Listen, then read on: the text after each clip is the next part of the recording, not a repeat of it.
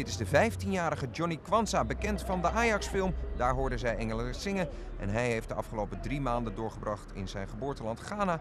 Maar is sinds vorige week weer terug en start direct in de basis. En hier is hij direct met de eerste aanval van Ajax. En het is ook direct raken. Het lijkt dan een juiste beslissing van Danny